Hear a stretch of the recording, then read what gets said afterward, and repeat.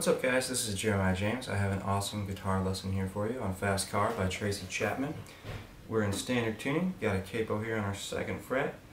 Why am I doing a tutorial on the song? Because it's an awesome song, I love it, been listening to it for over 10 years now. I know there's plenty of other guitar lessons out there, but I wanted to give it my shot, and this is for my subscribers, and hopefully this helps you learn how to play the song.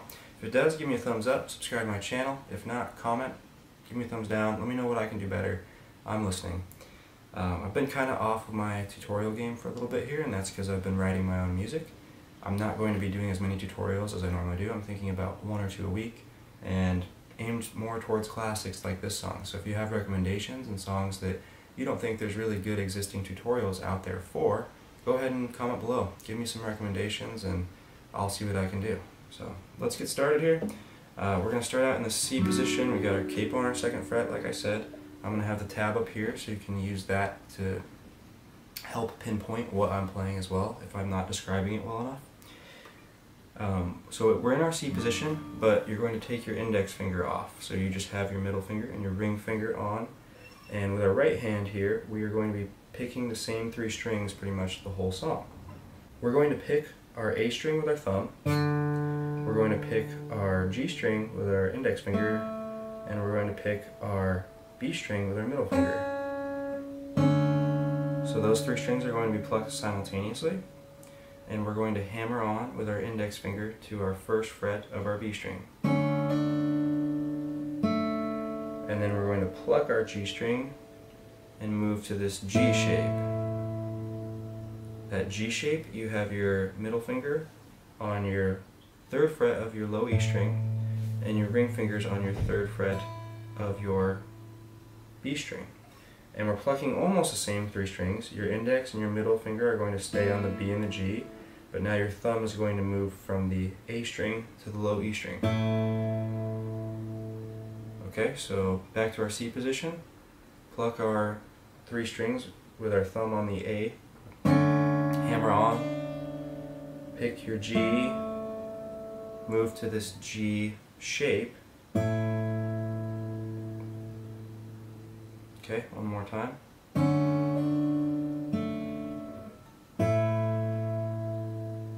From there, we're going to slide all the way up to our 7th fret with our index finger, and we're going to put our ring finger or your middle finger. I would say using your ring finger is much easier. So you're going to have your ring finger on the 8th fret of that B, and we're going to pick the same three strings. So the G and the B with the index and the middle finger again, and your A string with your thumb. As soon as you pick those three on that shape, you're going to slide down to your 5th fret with your index, and your ring finger will be on the 7th fret of the B string. And there you can pick your B and your G afterwards. Okay, so 7th fret, slide, pick your B and your G.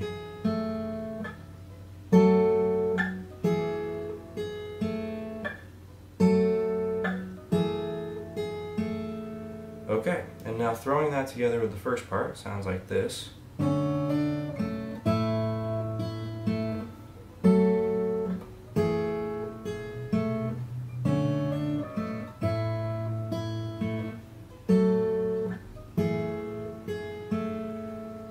And that's 90% of the song. So what changes is we add these little licks in for the third part of every progression. So you'll play this progression twice.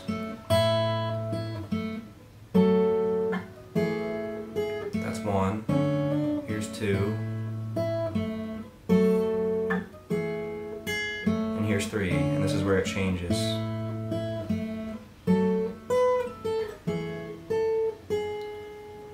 So we're playing a little extra lick here. And then it's right back to the beginning.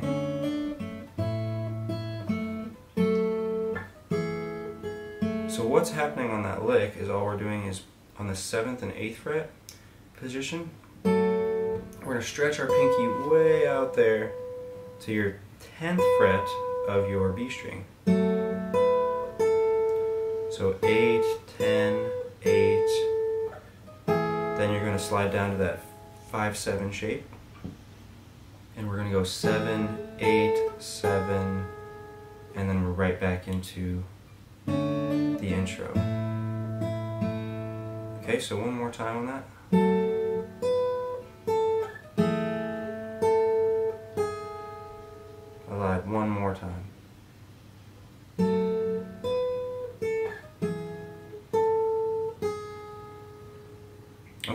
So that's it. So I'm going to go ahead and play through that twice. We'll play through, and just like I said, the first two are regular, then you do the lick on the third, and the fourth is regular, and that completes one set. So, we'll do two sets here.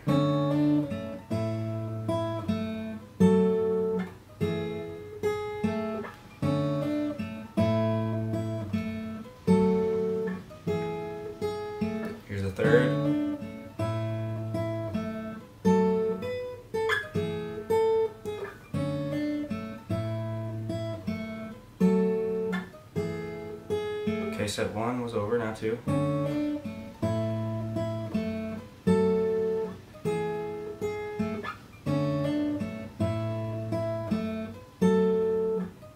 comes the third.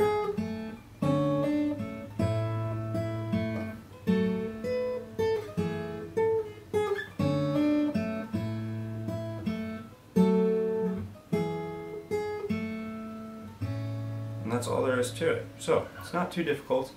Um, don't ask me why I was calling it a set. I know there's a proper music term out there for what exactly that was, but I'm calling it a set. We playing volleyball out here, or are we learning music? I don't know. Alright, so that's going to be it for this lesson. Hopefully this helped you. If it did, give me a thumbs up. If not, comment below. Let me know what I can do better. Um, subscribe to my channel if you enjoy these tutorials. And stay tuned for some original music from me. I've been spending a lot of time recording and I'm really enjoying it and having a blast and I think you guys will enjoy the music that I release. Thank you for watching.